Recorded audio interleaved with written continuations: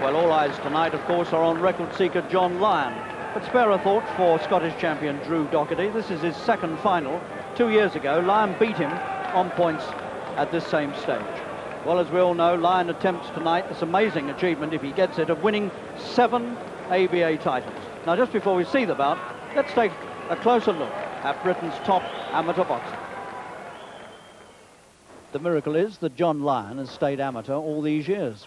Why hasn't this brilliant Lancastrian turned pro? The answer lies in his job. John Lyon makes glass in his hometown of St Helens. The heat of battle is nothing compared with the heat of the glass furnace. His employers, Pilkington, quite rightly see him as a valuable asset. And to keep him amateur, they sponsor his career with thousands of pounds. But for this, John would surely have gone the way of most other good British amateurs into the professional ranks. He also belongs to a club that's sponsored by a brewery. Well, beer and glass do go well together. It's a club that's produced other champions, and almost certainly will produce some more. His hero is 26 now and been training at this famous club a long time. Well, I started when I was about eight years old, and then I just went, I was there about year, and I just laid off it for a couple of years. I started back when I was 13, and in competitions I was 14, I started proper. You'd be wrong to think that winning six ABA trophies has made him blasé. This year's final against his old rival Drew Docherty is something special. Well, it, it is, because it's, it's got to be the all-time record if we get it. But I'm taking it just as any other final, I'm just doing the same things, and hopefully I'm going to get through and win it. I think it's uh, motivating me a bit more, because if I get it, I'm going to be the first one ever, and it's just, I think it's going to be that little bit more edge. I should be expecting win, but I, I'm not taking the contest like that. You've got to, you know, everyone like you take it the same. I take it the same. He's there. He's got to try and do me. I've beat him three times, so he's got to put everything into it for, for beat me. So I'll be, I'll be on, on on the night. I hope. The poster reminds us that the Gilbody brothers, Ray and George, came from this club, winning eight ABA titles between them under coach Tony Smart, the man behind John Lyon. He's, he's a gem, he's a good lad. Well, they're all, they're, they're, for some reason or other, that's the way I bring them along, so that if they don't want to train, they don't. They better not come here. They're easy to say. After a certain period, that they've been like, we say like 12 months or something like that, then they find out that I'm not as bad-tempered as they seem like, you know. And, uh, and then they get a bit of a rapport going between myself and the rest of the lads, and it's easy, as long as you're fit and healthy. And, you know, it's just like an extension of what we're doing here every night. Like, you know, it's like we expect champions. We don't hope, we expect them. They, if they work as they do work, well, we just take it for granted that they will be champions. Life with the Lions in 1988 promises everything. An amazing record to be set, and then South Korea beckons. Seoul, the Olympics, and the ultimate prize. I went to the Olympics in 1984, and uh, I lost to the American, and he went on to win, win the gold medal. If I go to the Olympics in Seoul, I want to win a medal any medal will do, but you, you, you got to reach up for the top, and that's what I want, the gold medal, more than anything. Well, now, here is Lyon facing the most important night of his life at Wembley. Against Drew Docherty, the Scottish champion, his old rival that he's beaten three times already.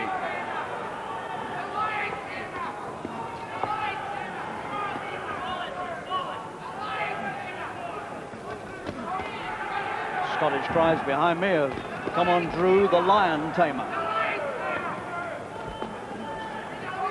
Be a good man if he tames this lion. Drew Docherty, 22 years old from the Croy Miners Club. John Lyon, dressed in the famous green and gold of Green Horse St Helens.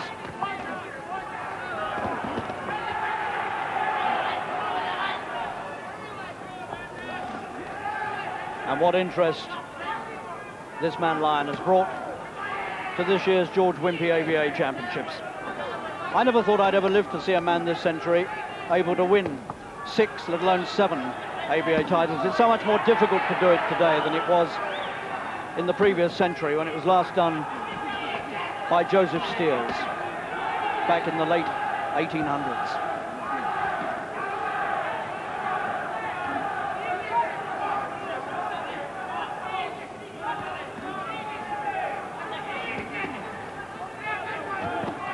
Good start by Lyon. He's going straight into the attack. The occasion certainly not uh, getting on top of him.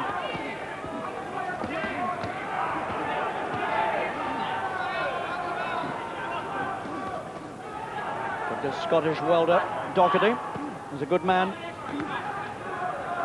One of two Scottish brothers who dominate Scottish boxing at the lightest weights. Brother Willie is a light flyweight.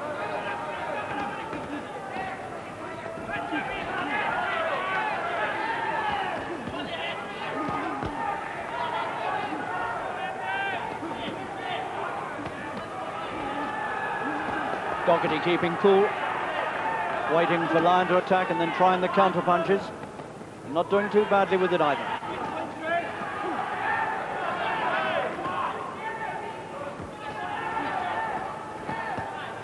Lyon's picking up one or two counter punches too as he comes in.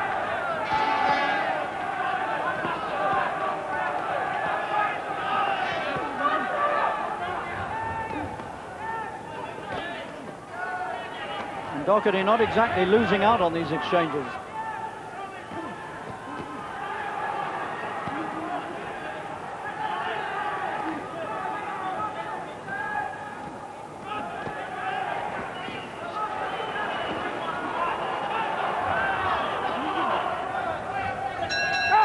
Well, that was some opening contest. And Lyon worked very, very hard. Indeed, some opening round, I should say. He worked very hard there. And yet, uh, Docherty was going with him all the way. And certainly wasn't losing out. And there were one or two lumps and bumps on the face of Lyon to prove it, including that uh, mark up on his forehead that he picked up in training and that you saw in our little uh, preview of him. John Lyon, 26 years old, 5 feet 4 inches tall, now just one win away from this historic record. Joseph Steers did it between 1890 and 1893 at two weights, middle and heavy, and he was able to do it in four years because uh, you could win at more than one weight in one year on those in those faraway days. The klaxons ring out. Second round. Second round. Lyon in green.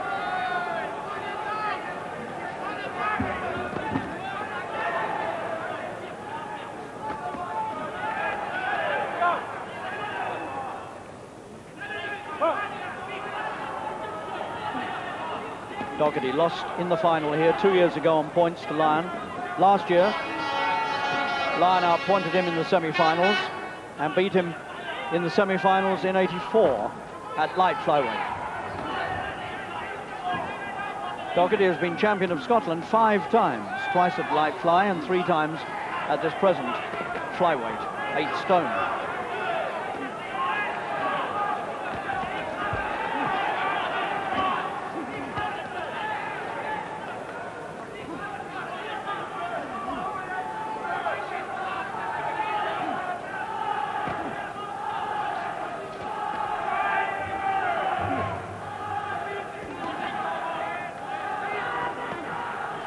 Docherty has made no plans to retreat.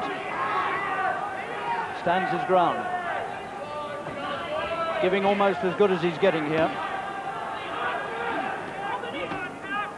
Good right from Docherty. Lyon using the ring now and moving away. And Docherty has taken over.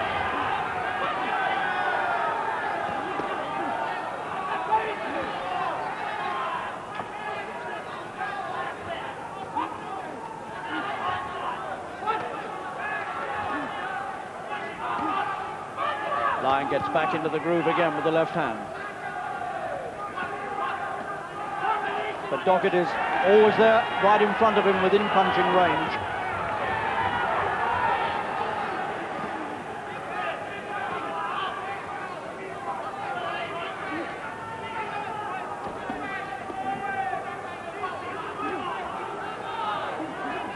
Lyon gets back on top.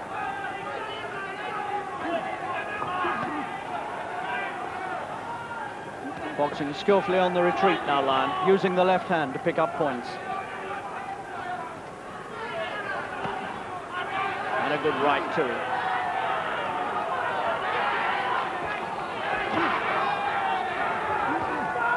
I don't think there's ever been any sort of clinch.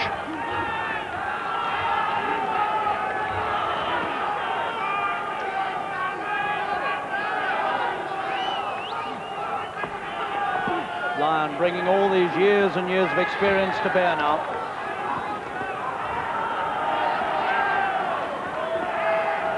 But Doherty's still going with him. It's close. And what a round of applause these two get after those first two rounds of tremendous boxing. Drew Doherty, 22, from Croy Miners. He won for Scotland against England in Gateshead in January this year against Dave McNally, who was deputising for Lyon, who at that time was recovering from a nose operation. Drew and his brother were brought into boxing by their, their father, and they took it up when they were scarcely into their teens. So this man's been around for about 10 years, and he's only 22. And now the star of the evening, John Lyon. Married man, three children, one of nine children himself. Commonwealth Games gold medalist in Edinburgh in 86 and now seeking this historic seventh ABA title. John Lyon then, perhaps only three minutes away from making history. Lyon on the left in green.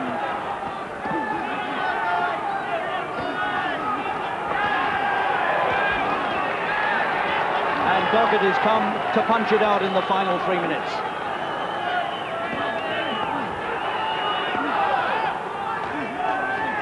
Tremendous battle, and not much in it.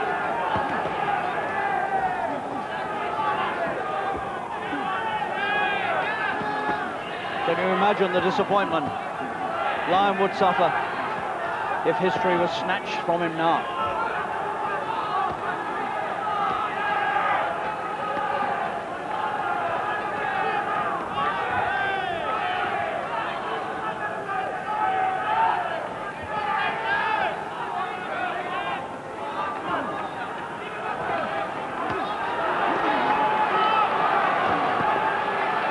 Doherty will not give ground.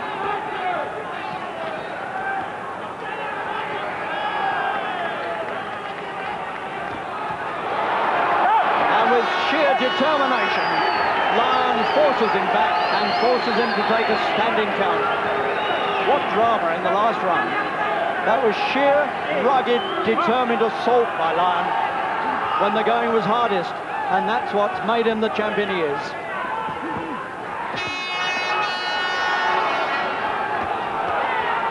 He's come out for the third, stronger than ever.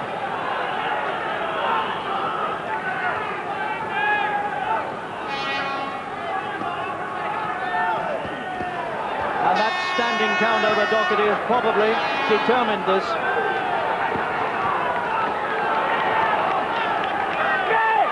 It was the turn of the tide that Lyon needed.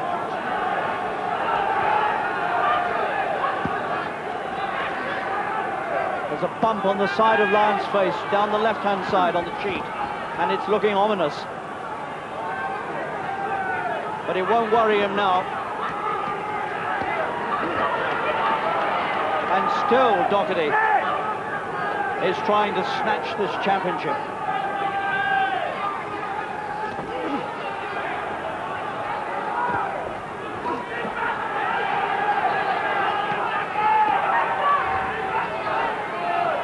This is likely to be the most memorable of all Lyon's championship battles, and that's because Docherty has made it so.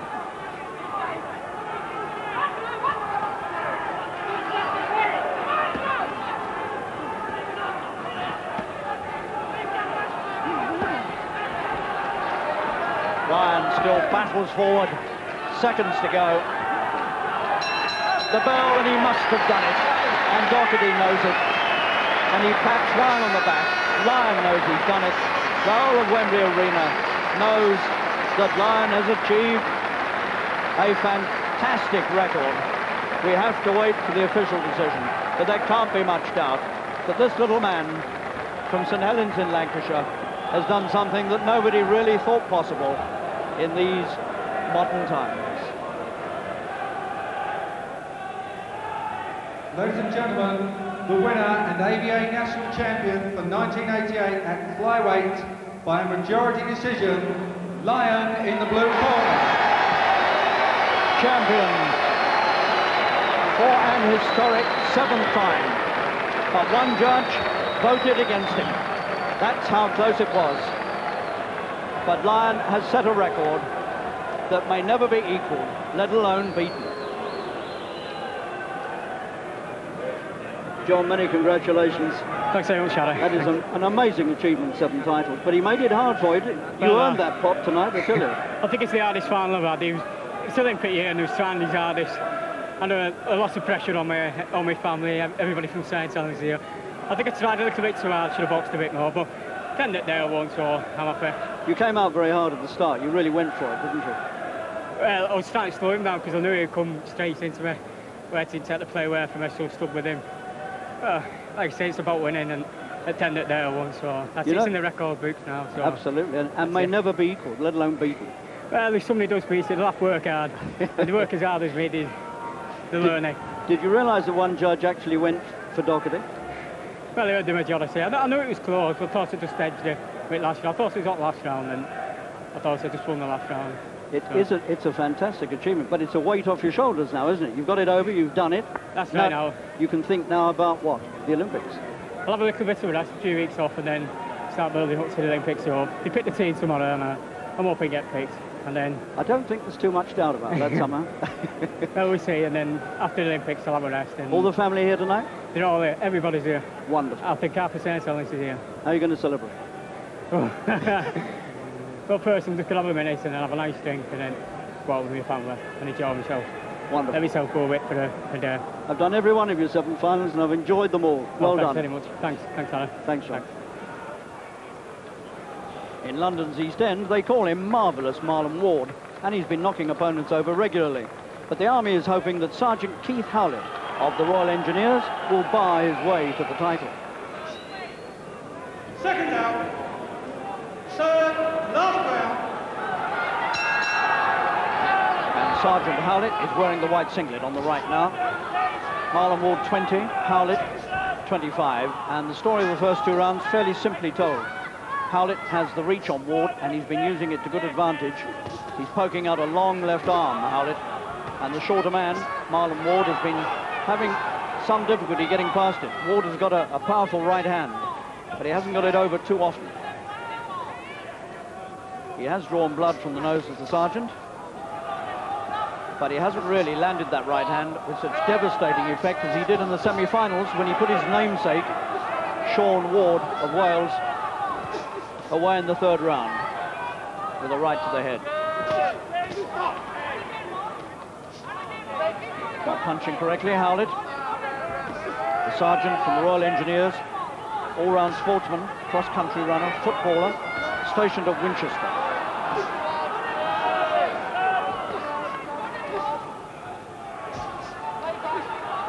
Ward from the Newco Club, the London champion. A lot of inside the distance wins on his record this season.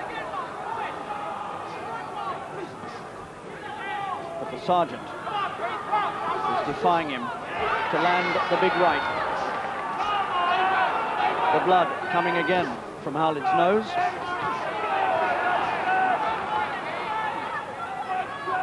The Ward being made to pay dearly for the blows he's getting in.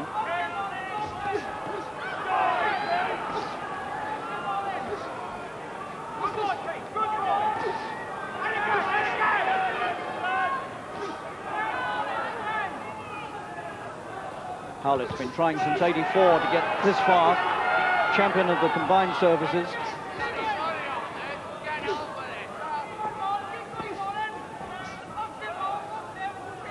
it's fair to say, I think, that he's controlled this bout from long range. Very cleverly. But there probably isn't all that much in it.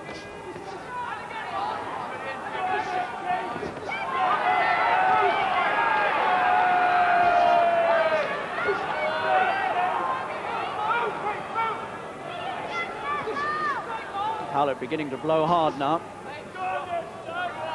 But we're into the last 30 seconds.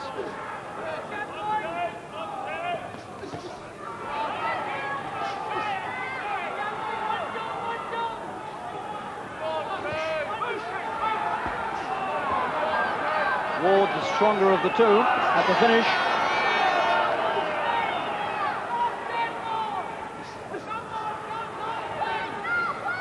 Howlett is a very tired man. That bell's not come a moment too soon for him. He thinks he's won, and that would be my opinion too. It may well depend on how the judges saw some of his punching. He got one caution for incorrect punching. But I would say he's done enough. Ladies and gentlemen, the winner and ABA national champion for 1988 at bantamweight by a majority decision, Howlett in the red corner. Howlett gets there narrowly. Two judges to one vote for him. The sergeant from the Royal Engineers, Keith Howlett, takes a very welcome title back to the army. They don't win too many these days, but this man, after a few years of trying, has done it for them. Well, these two know all about ABA finals, although they've never won one. Scottish champion Dave Anderson has been in two, and London champion Colin McMillan was last year's finalist at this weight. Second round, first round. The Scot, Dave Anderson, in the black strip, against Colin McMillan here, who may well switch from orthodox to southpaw and back again. He's that sort of boxer. And wearing his glitter boots tonight, McMillan.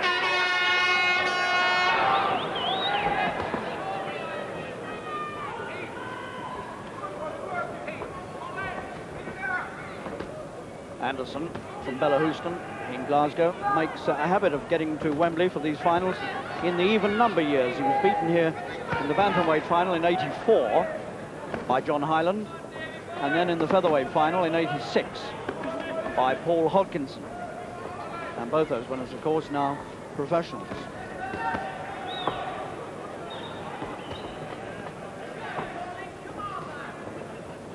McMillan was here last year and lost the final to Peter English from the north of England.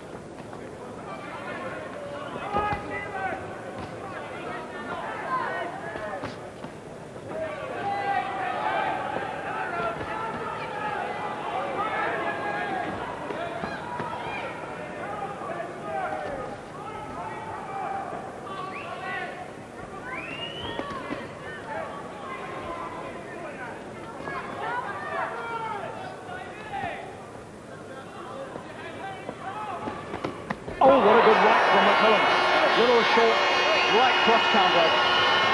Fully fixed. And Anderson's a strong boy, looks a strong boy, and he is. And he survived that well.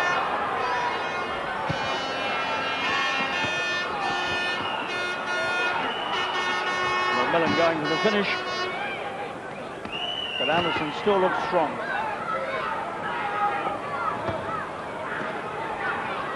That happened about halfway through this opening round. And the left hand this time takes Anderson full in the face, and the Scot is going through a bad period, trying to fight his way out of it.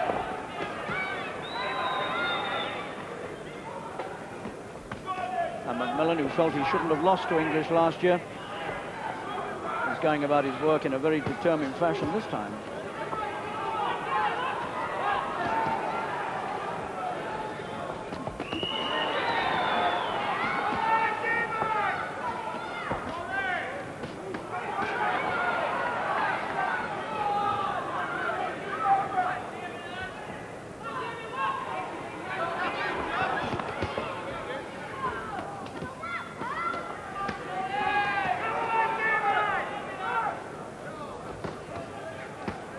And Anderson coming back strongly towards the close of the round.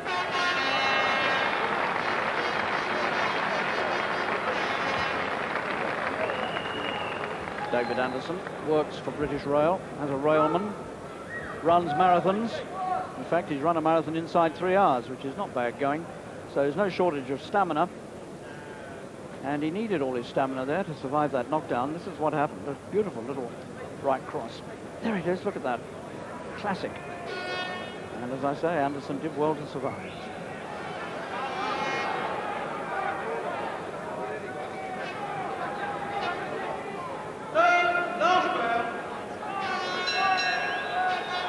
Well, the strength of this Scot is beginning to tell. McMillan clipped him again with the right in the second, but it didn't have the same effect. Meanwhile, Anderson has got stronger and stronger, it seems, and uh, McMillan, instead of trying to box his way out of this, or through it, was elected in the second anyway to have a bit of a war with Anderson, and I wouldn't have thought those were the right tactics against a much stronger man, which uh, Anderson clearly is. Anderson's been champion of Scotland four times, at bantam, twice at feather, and once at lightweight.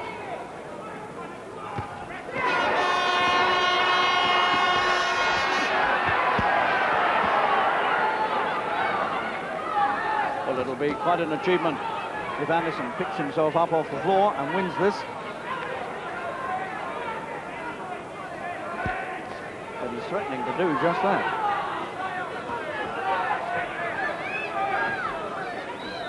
England international Colin McMillan from the Barking Boys Club. Technician. He's won the London Featherweight Championship four seasons in a row.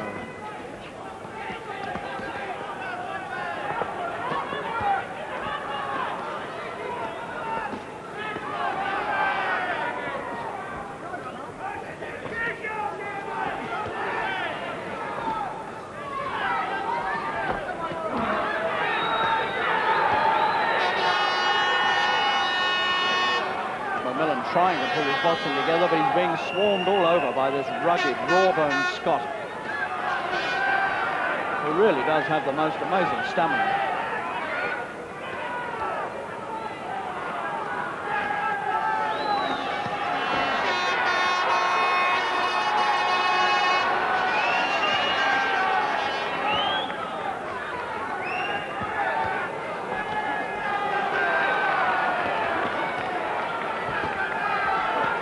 He's had two good rounds, Anderson.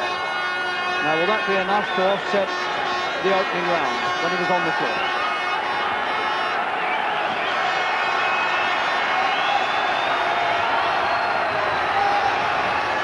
What a scrap.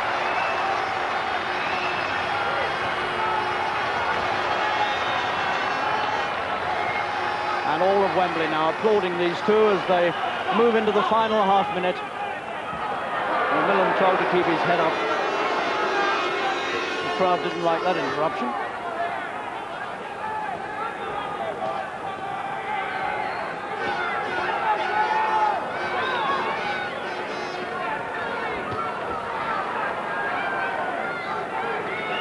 Oh, they punched themselves out here.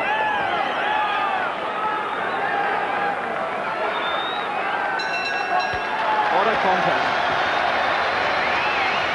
And what a remarkable comeback by 22-year-old Dave Anderson from the Bellahouston Club, who looked on the way out in the first round from a good right hand, picked himself up on the floor, and really never looked back. It goes to the judges.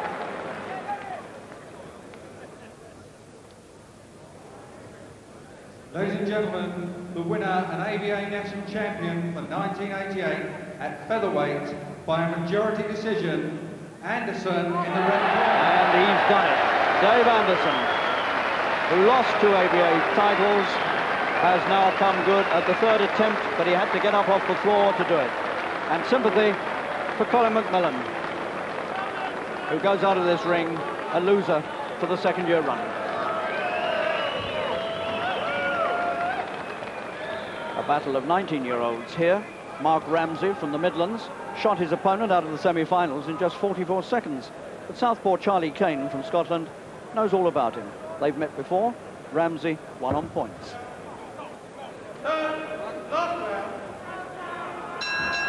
From the left, the tall young Scot in the dark singlet, Charlie Kane, against the punching specialist, Mark Ramsey.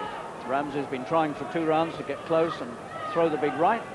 But this tall young man from Scotland, he stands five feet ten and a half inches and he only weighs nine and a half stone. Charlie Kane from the Antonine Club in Glasgow. He's got a cool head on young shoulders and he's been keeping, keeping himself largely out of trouble. using his reach and his feet. Ramsey getting the ticking off there for punching the sides and back of the body.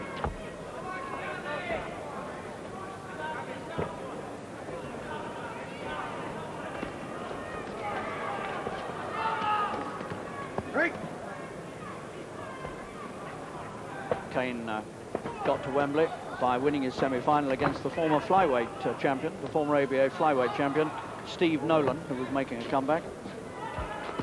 And Ramsey got here with that 44-second uh, win over Tony Khan, the Welsh champion. But he's not had the same devastating effect on Charlie Kane. It's amazing to me, he's still only 19, Charlie. He seems to have been around forever. Scotland used him when he was very young, and he's uh, He's always been favoured for big international occasions by them, so he's picked up a lot of experience around Europe and bringing it to bear here now to keep, keep himself away from the right hand of the powerful punching Ramsey from Small Heath in Birmingham.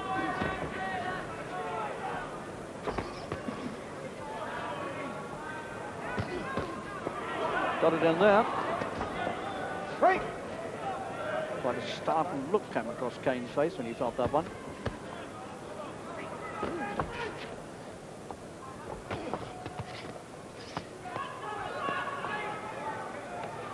If Kane lets his concentration lapse here or he tires and his work is getting a little bit more ragged, that might just be the opportunity that Ramsey is looking for.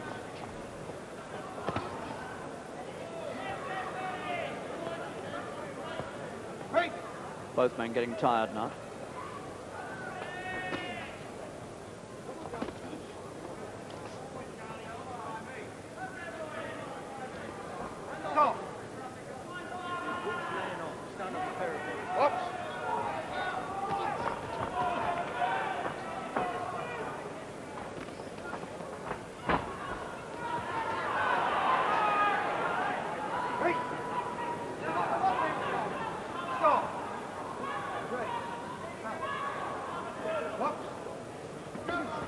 Been one of the night's most thrilling finals. But uh, a caution, or rather a public warning, for illegal use of the head goes to Ramsey in the closing seconds. And that could well be the thing that will tell against him.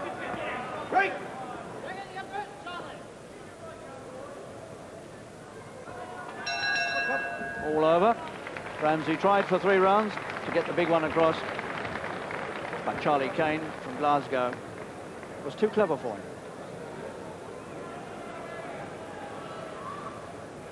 Ladies and gentlemen, the winner and ABA national champion for 1988 at lightweight by majority decision, Kane in the red corner.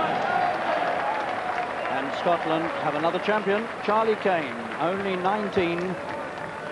Too clever for Mark Ramsey and gets two of the three judges' vote and is our national champion. Northerner Alan Hall is back again. Last year, when he was only 17, he reached the lightweight final. This year, at light welter, he hopes to win, but uh, Jim Talbot, the new London champion, seems to have a lot of promise. Second down. Second down. Alan Hall in the white strip, the boy from Darlington, 18 years old. And Jim Talbot wearing the famous black and white strip of the Fisher Club in Bermondsey, southeast London. Close opening round with Hall as usual proving himself dour and aggressive and very awkward inside.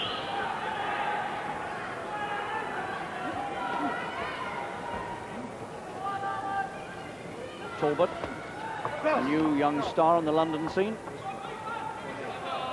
Not a lot of experience at this level, but he handled his semi-final extremely well when he outpointed the, the very experienced campaigner from Scotland, Jim Pender. That was a good win.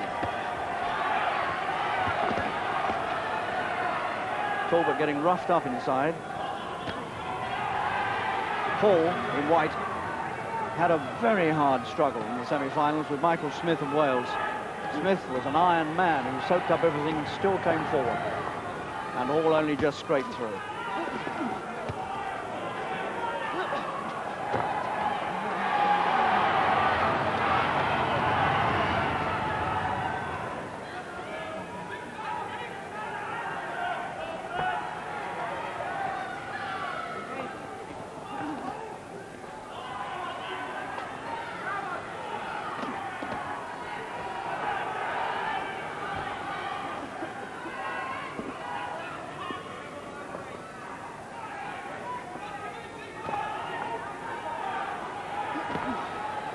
Talbot trying to work his way in behind the, the left lead. But when you get close to Hall, he's a cagey, awkward customer. Ties you up, roughs you up.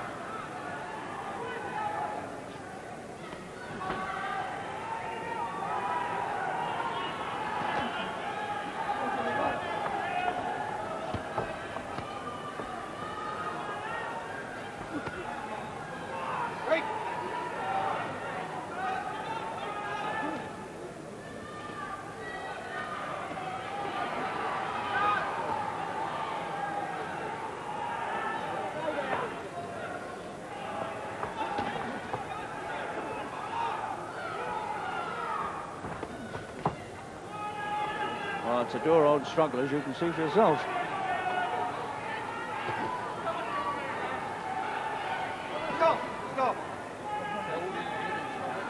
Well, he's not the only culprit of that.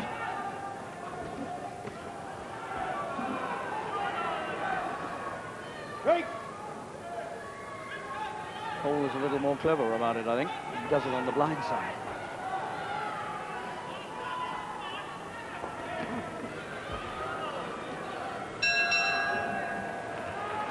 So, everything to go for in the third and final round. Very, very close up to now. This is Jim Talbot, the new London champion, works in the building trade. Well, the pair of them must know that it's close, so this is liable to be a pretty severe test. Talbot in black and white from London. Hall in white from Darlington. Trying to go one better than last year.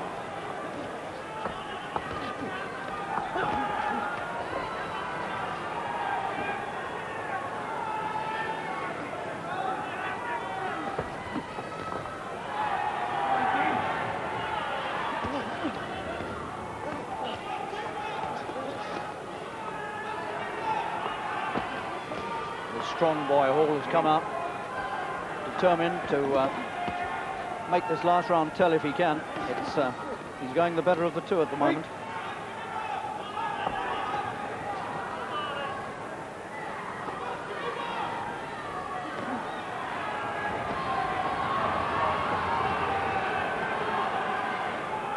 Some anxious London cries to Jim to work. They're not in there with Hall, are they?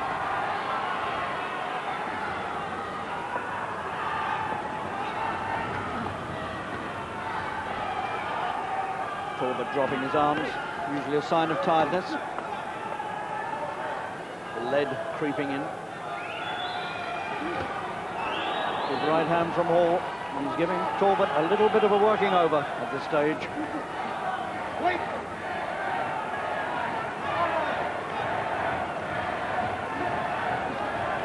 Talbot hasn't really been able to make a punch toe. And now getting very tired, the arms are leaden. And Hall sees that, and that gives him increased hope.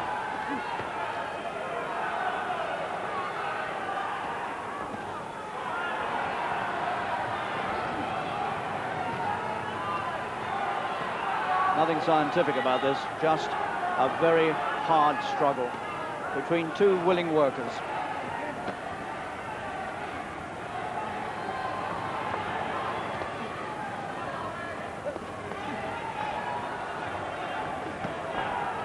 Another little inside from Hall. Talbot has found himself punching empty air most of the time in this final three minutes. It has all signs of going Hall's way.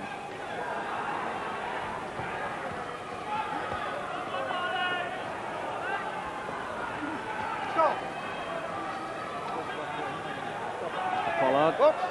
warns uh, cautions Hall about his head.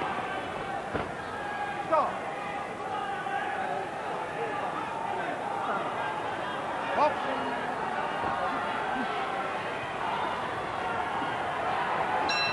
Well, Talbot game to the last, but he wasn't really getting anywhere.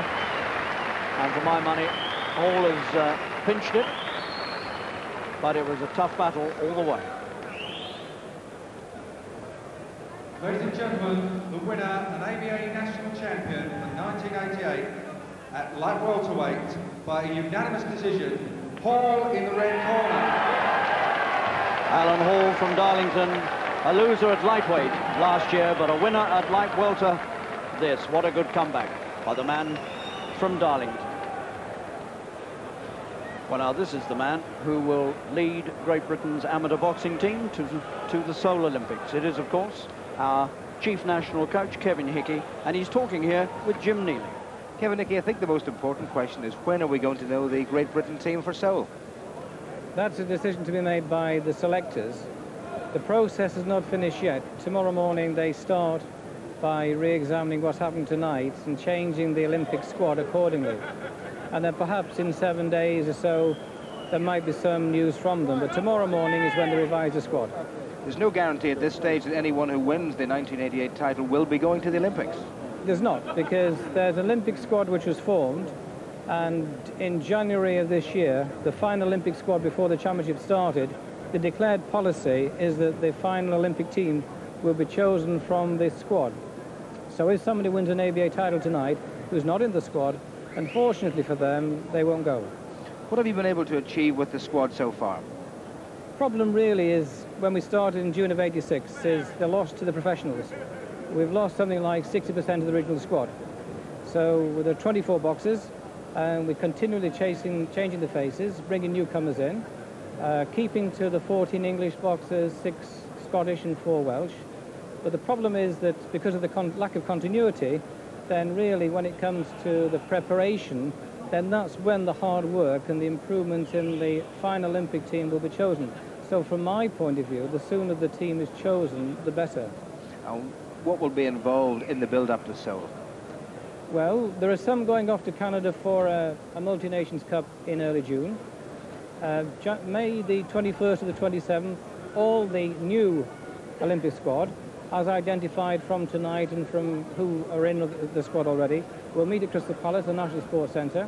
We'll start our training, and in units of five days on, and then maybe two weeks off, and then back in for seven days into camp, being on a, a highly specific training program back in the clubs, then by the game starting, then they will be fit and ready to go.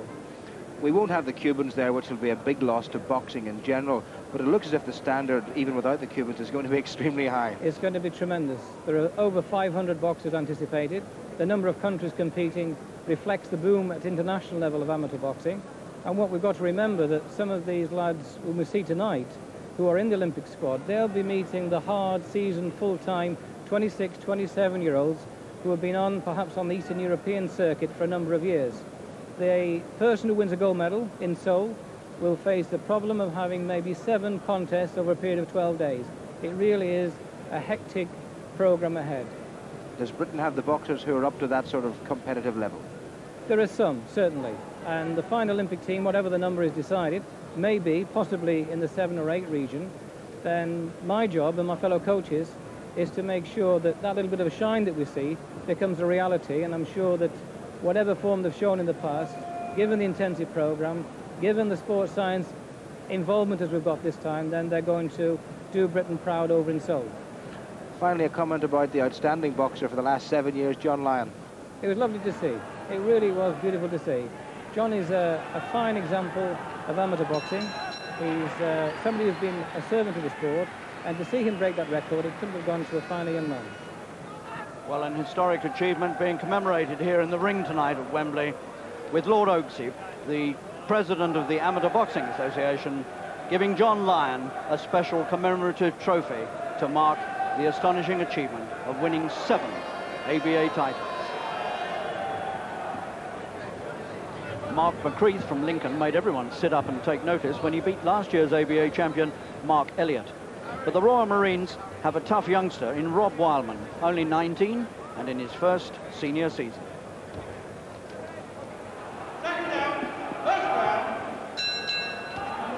Well, Mark McCreath from Lincoln. All eyes will be on him here as a man who can really punch. And Rob Wildman, this interesting young Marine, 19 years old, Navy champion, who has come through very impressively for this final. McCreath in the scarlet singlet.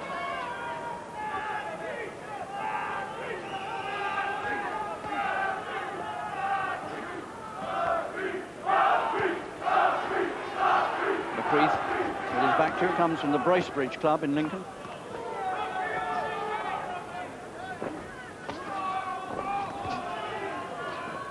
there's always a lot of interest these days in boxers from the Royal Marines because of the history of Terry Marsh, who came up through that service. He was a Marine commando and then later a fireman. But Marsh was uh, one of our most famous amateur champions.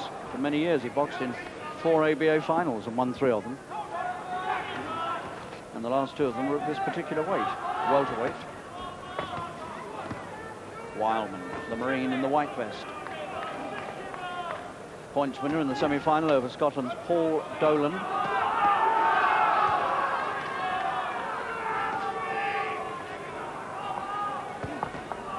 McCreath had scored a few KOs on his way to this final, although not in the semi-final. He had a very close contest there with uh, John Hudd of Wales.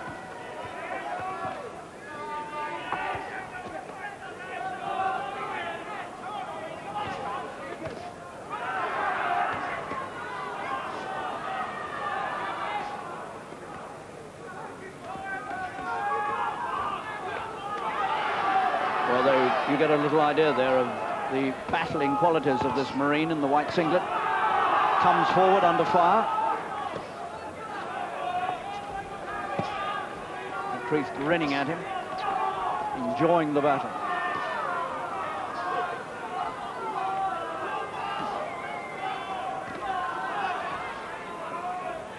I don't know whether they're going to be able to keep this sort of pace up. No. And Wildman, even while he was on the seat of his pants, was looking at the referee and saying, no, Mr. Beattie, I did not get knocked down, I slipped.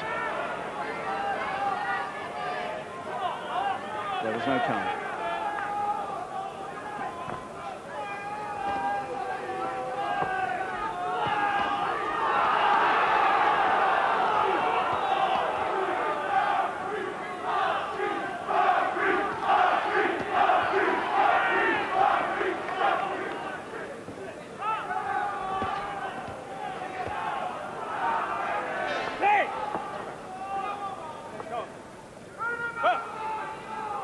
spared no energy in that opening round.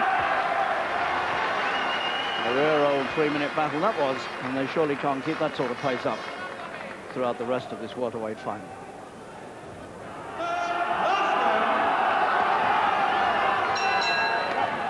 Well, the slugging didn't stop throughout the second round, and here we go again now, the final round between Marine Rob Wildman in the white singlet and the Lincoln man, Mark McCreath and they've been going at it like this now throughout the contest. Neither man willing to give way. The priest grins as he takes that punch and comes back.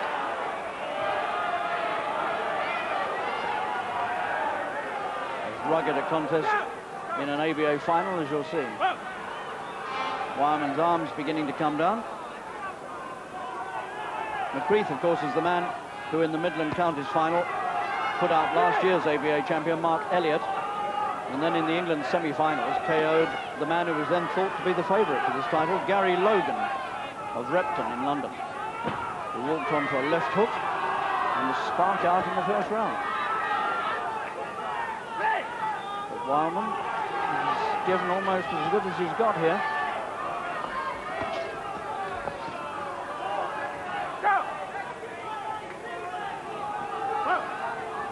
Marine Wildman, stationed in Plymouth, but born in Worksop, and now lives at Ollerton, near Mansfield.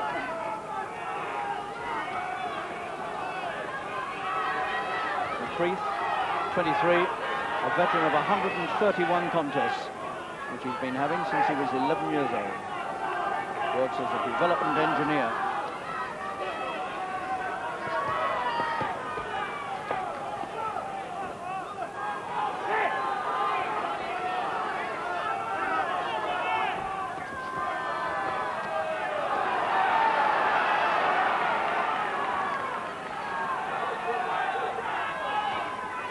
suppose this is about as near as you'll get to what they call a head-to-head -head struggle. Absolutely locked in battle. It's been like this from the word go.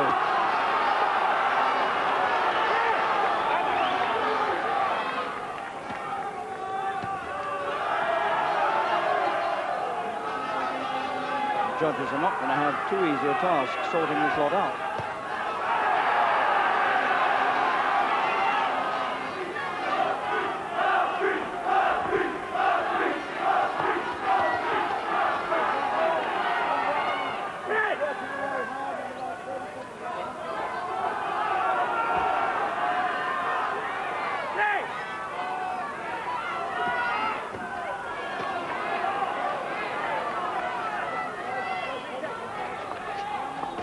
goes on being a battle all the way to the finish.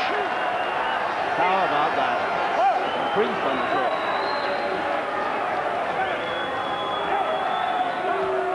So, will that be the decisive punch? It might be.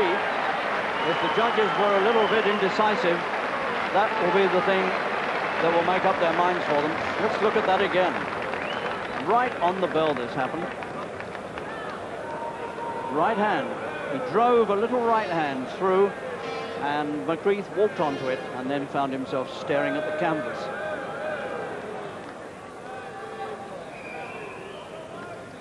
Ladies and gentlemen, the winner and ABA national champion for 1988 at welterweight by unanimous decision, McCreath. Oh, made it despite the last second knockdown. It hasn't gone down too well here at Wembley, but McCreath has come through and doesn't look entirely convinced himself. But nonetheless, you're looking at the ABA welterweight champion of 1988. What a sensation 19-year-old Wayne Ellis of Wales caused when he beat England's Olympic hope, Neville Brown, inside a round in the semi-finals. Well, now he faces the Sunderland veteran, Willie Neal, in his first final at the age of 27. The Welsh sensation, Wayne Ellis, the man who destroyed Neville Brown's hopes of another Olympic title and a place, uh, another ABA title and a place in the Olympics. And now he faces, all in white, Willie Neal, the old campaigner from Sunderland.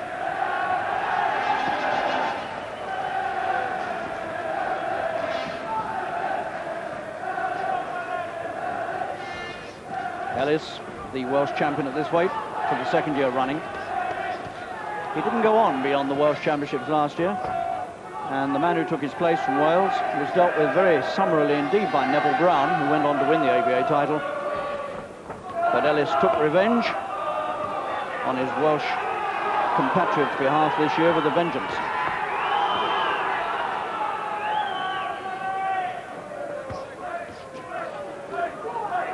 Ellis has won all his 10 bouts as a senior. Had an impressive junior record, NABC champion in 1987 and three times a Welsh youth champion. And Willie Neal of Sunderland in white. First appearance in a final. But over and over again, this man has been champion of the northeastern counties.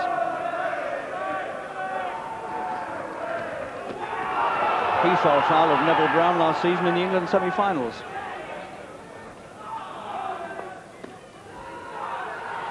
Brown knocked him out in 2 minutes 59. So on the comparative form, Ellis ought to do a, a fairly slick job here, but things don't work out always like that in boxing.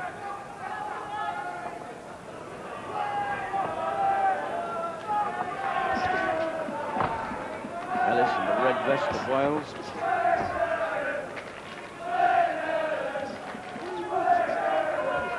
Oh, and the Welsh sensation is on the seat of his pants. The old campaigner has struck first. Still almost a minute to go of this first round.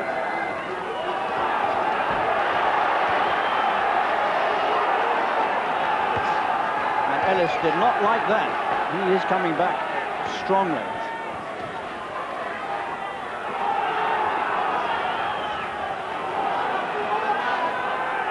And he's shaken Neil there with a punch.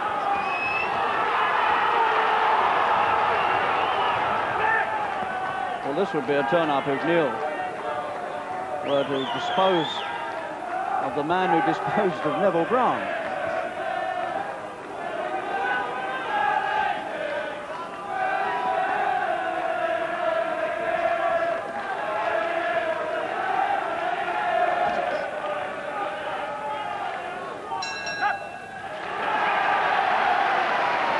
Well, that must be a somewhat disillusioned 19-year-old striding back to the corner. Wayne Ellis from Cardiff YMCA, who started a hot favourite and then suddenly found himself on the floor like this. Neil in white.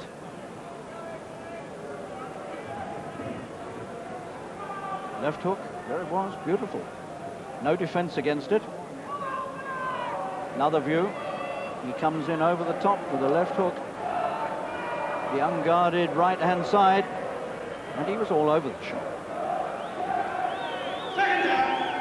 Third, last round. Well, amazingly, here's Neil coming out for the third. Ellis has landed every one of his best punches on Neil's head, and Neil is yet to go down. Although he took a standing counter the second, he's almost gone again here. Back of the neck. Amazing courage by the man from Sunderland in white.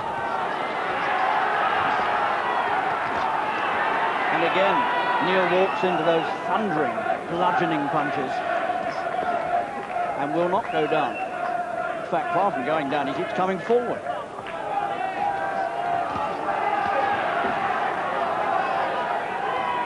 Tommy Beattie, the referee, having a close look at, at Neil. And Ellis goes to work again.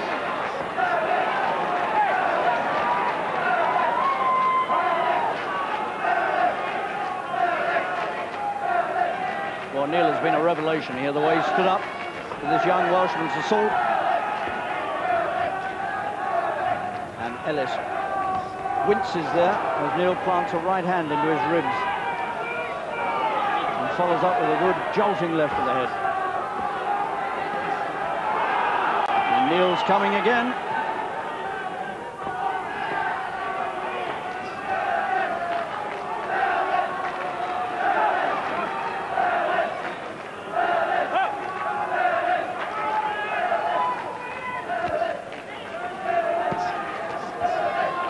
Oh!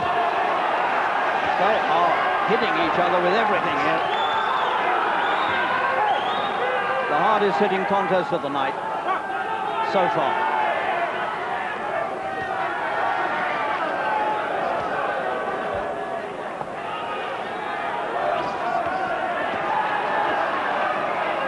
Young Wayne Ellis is blowing and puffing.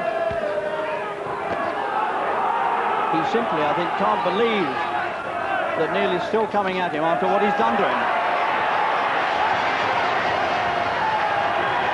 Another standing count. Neil takes another one. What a hero this man is. He's had Ellis on the floor in the first round. He's taken all sorts of punishment in the last round and a half. And he's still on his feet. Well, in the old days, they used to have a character up in Sunderland called Cast Iron Casey. And this man is a throwback to Jack Casey, who used to be known as the Sunderland Assassin back in the late 20s and early 30s.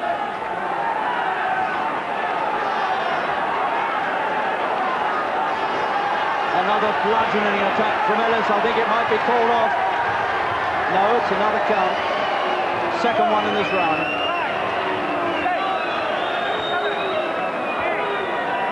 The bell's coming up. There it is. One final standing count. Neil survived to the bell. He never was off his feet, and the Welsh corner congratulate him for that. But there can't be any doubt that despite being on the seat of his pants in the first round, the 19-year-old Welshman, Wayne Ellis, is going to get the decision.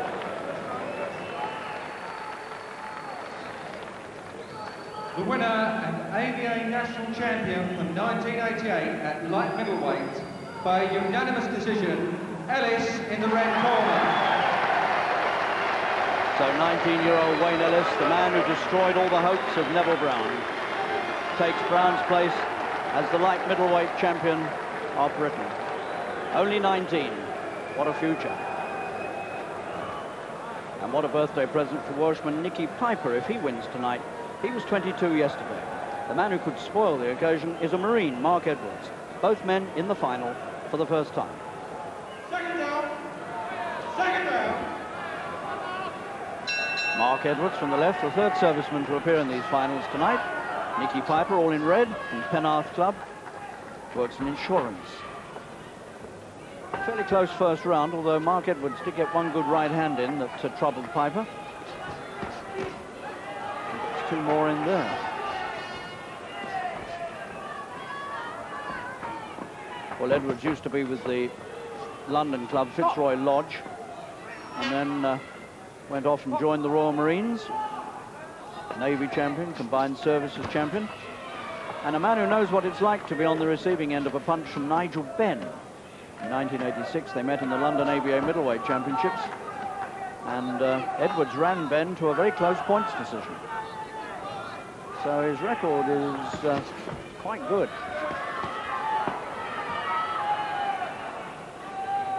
And Piper, Welsh middleweight champion the last two years, and light middleweight champion of Wales the year before that when he was only 18.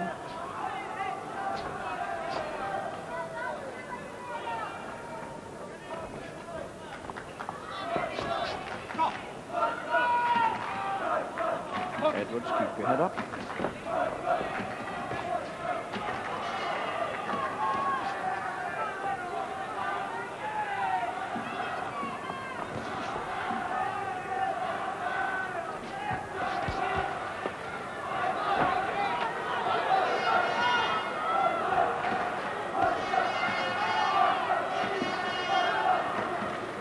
Break. Stop. Break. Stop.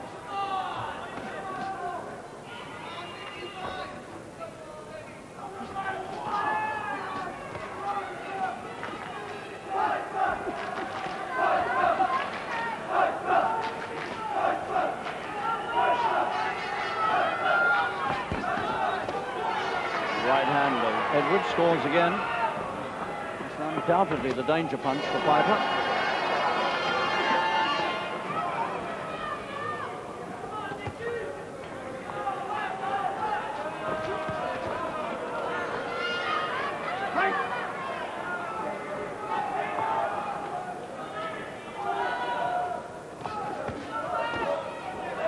Two more thudding punches come home from Edwards.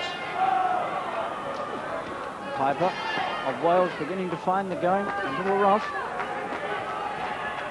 And still another round to come.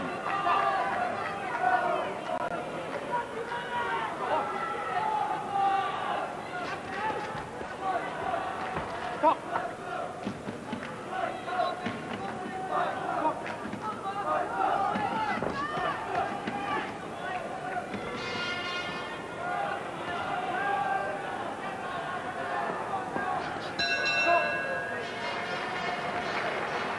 So Edwards has probably stolen a lead after two runs. But Royal Marine Mark Edwards, 24 years old. The last three minutes then of this middleweight final. The ABA title at stake. Marine Mark Edwards in the white singlet and the Welsh champion Nicky Piper from the Penarth Club.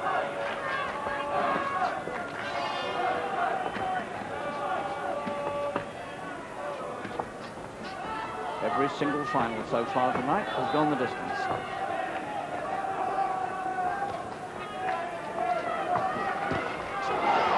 Punching punch again from Edwards. His punching generally is shorter and more accurate than Piper's.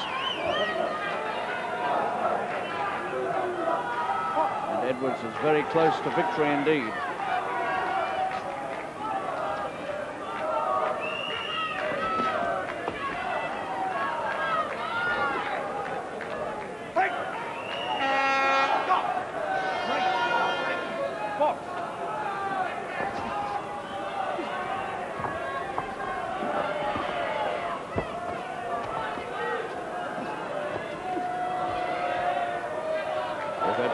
here, the Royal Marines will be thinking back to the great days when Terry Marsh represented them so often in these championships.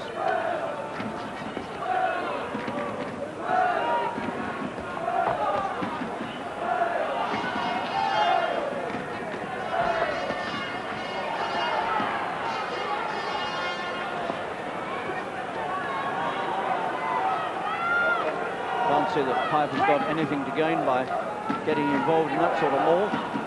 Got to do some punching.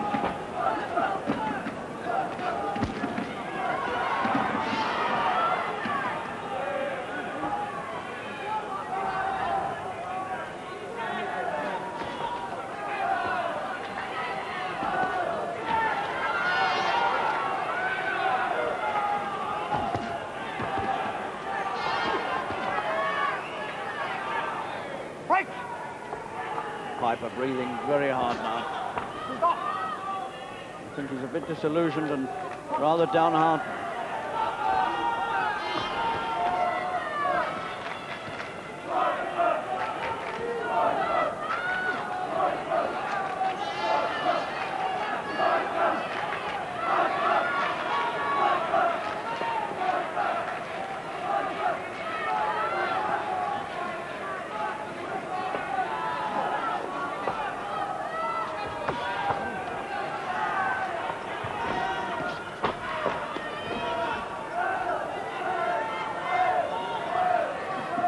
Break!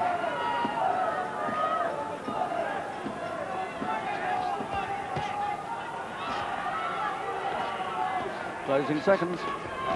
Stop! And two tired men fall into each other's arms.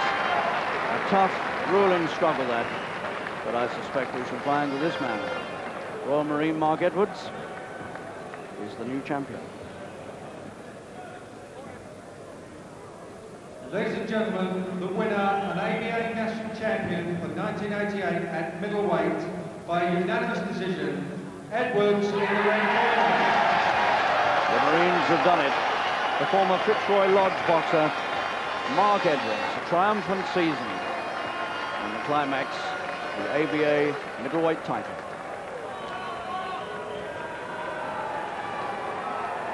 Could this be Harry Lawson's night at last? This Londoner, born of Scottish parents, has lost the last two finals.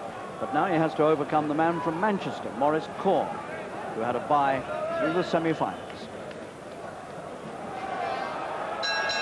Harry Lawson, the Londoner, in green, who's been Scottish light heavyweight champion these last three seasons. And Maurice Core from Moss Side Club, Manchester, 22, two years younger than Lawson. Both his men stand over six feet. They've had two quite uh, hard rounds. Nothing as dramatic as that has happened before, but uh, that's not a knockdown. For the second time, Core slips and stumbles.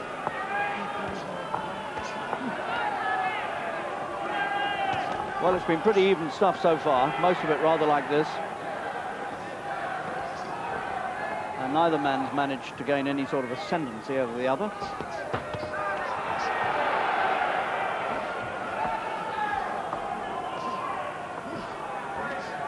Maurice Core had a bye through the semi-finals when the Welsh champion pulled out. He was the middleweight champion of uh, the Northern Counties three years ago, Maurice Core. But he didn't get past the England semi-finals. He came up against Johnny Melfah from the West Country and got knocked out in one round by Melfah. And Lawson, of course, beaten here two years ago by Jim Moran of England and then knocked out in two rounds in this final last year by John Beckles. And uh, Beckles has not been seen around this year. The last heard of him, he was in America. Still boxing, we believe, as an amateur. Core told to keep his head up. Well, it'll be desperate for Lawson if he fails again.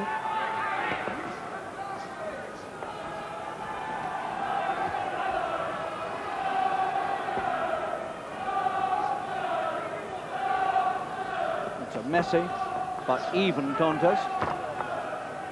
Break!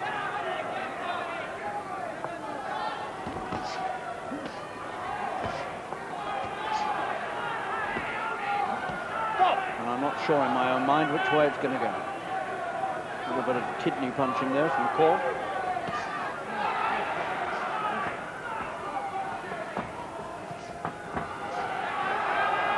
Oh. Well, that's the wildest swing seen here tonight.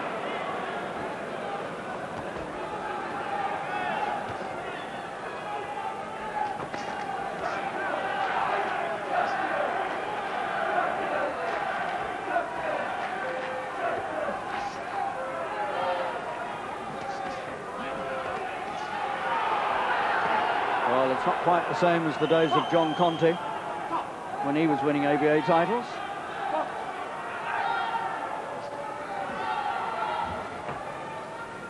And further back than that, of course, Henry Cooper was ABA light heavyweight champion. Twice.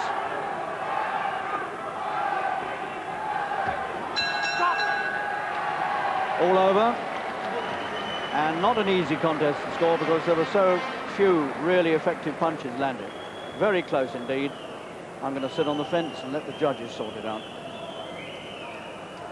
Ladies and gentlemen, the winner and ABA national champion for 1988 at light heavyweight by unanimous decision, Lawson in the blue corner. And Lawson, Harry Lawson, the Londoner who represents Scotland, has done it at last. He's been here twice before and walked out a loser, but this time the honours are his. Light heavyweight champion of Britain, Harry Lawson. A fascinating battle, this one. Henry Akinwande, six feet seven inches tall. He's been runner-up the last two years, up against the old campaigner, Harold Hilton from the West Country, who was champion in 1982 and again in 85. And this is what happened at the end of the first round with Harold Hilton, whose chin has always been vulnerable, taking this little right-hand clip. There it is. And over he goes on the seat of his pants. But he survived, and we move now into the third and final round. Second down, third, last round. The tall man, Akinwande, from the Lynn Club in southeast London, and Hilton, all in white, from the Viking Club in Brockworth, near Gloucester. His fourth ABA final. And it's the first time in his finals that Hilton's had to go beyond one round.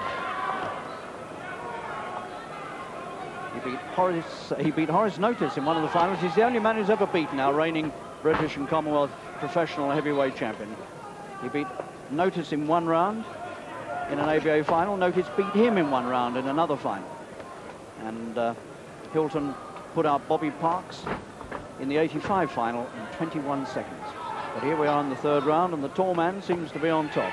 Akinwande, who's gone from here two years running, a loser, last year on points to Jim Moran, and two years ago disqualified for holding against Eric Cardoza, and then threw himself full length on the ring floor in disappointment. Akinwande switching from orthodox to southpaw throughout this contest. And Hilton, who really can punch, has never managed to find that chin. It's probably too high up for him to get at.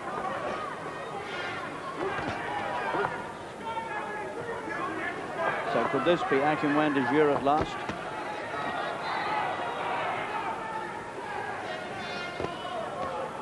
Akinwande, born in Dulwich in South London, lived in Nigeria for a bit, now studying agriculture. Pollard says, oh, hold on. Stop it. Naughty boy.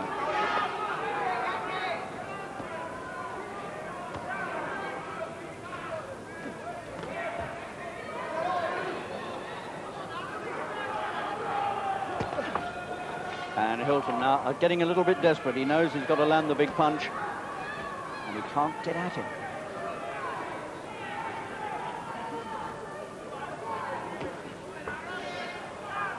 Stop. Up. So Hilton, who was uh, bowled over by a short right hand in the first, has not managed to spread the tall man on the floor. And we've only got uh, 30 seconds or so left. And it's looking very much as though The six foot seven inch Akinwande, after two disappointments, is at last to become the heavyweight champion.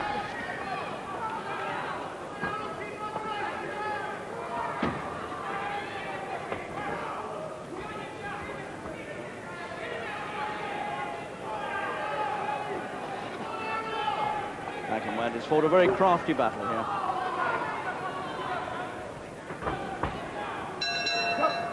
All over. And it looks very much to me as though this man has done it at last. It's taken him three years, but I think we shall find it'll be his arm that's lifted here as champion.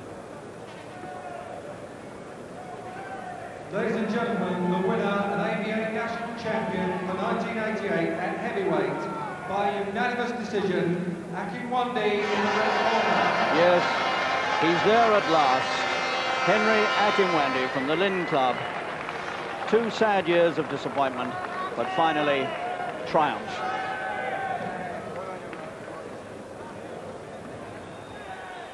And finally, the giants of the competition, the super heavies. Kevin McCormack of Wales won his semi-final when his opponent was disqualified for biting him. Steve Wollaston, a big puncher from the Forest of Dean, has promised to keep his teeth to himself. Second down, third, McCormack from Wales comes out of the left-hand corner against Steve Wollaston to the third and final round of the final bout of the night.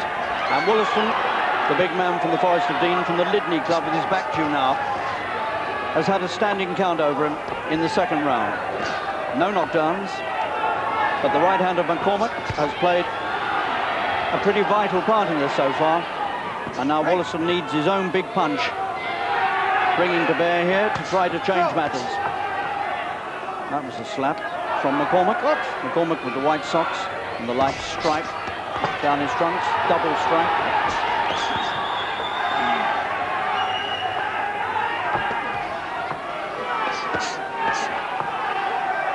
And is getting worked over here by McCormack.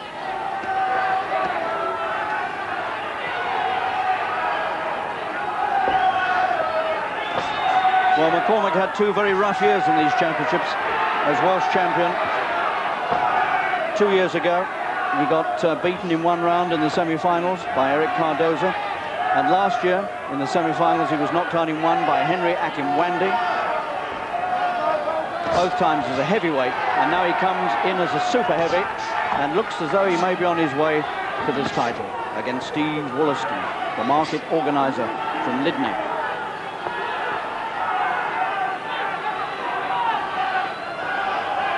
McCormack, a bricklayer born in Pontypool but plays soccer for Cwmbran Town.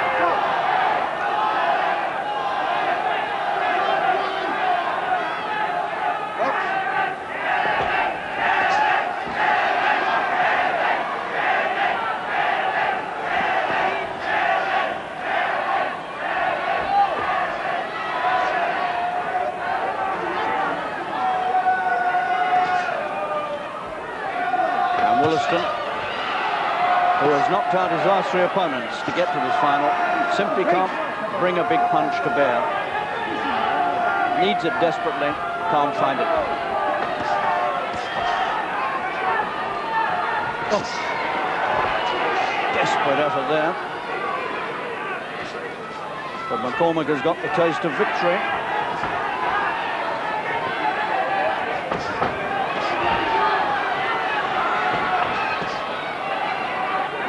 in the last half minute. And the Welsh who fondly remember the days when Joe Erskine was ABA heavyweight champion back in 1953 will certainly give McCormack a rousing reception if he takes this super heavyweight title away.